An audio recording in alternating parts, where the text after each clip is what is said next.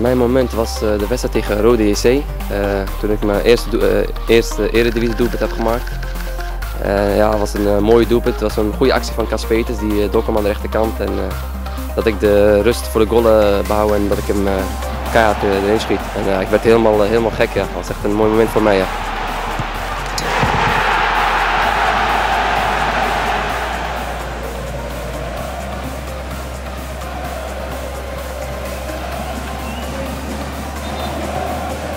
Aankomend seizoen hoop ik dat we weer uh, een volle Vijverberg hebben. Uh, we hebben een goede seizoen gedraaid. En uh, ik hoop dat, dat de sfeer en dat iedereen weer in het stadion komt.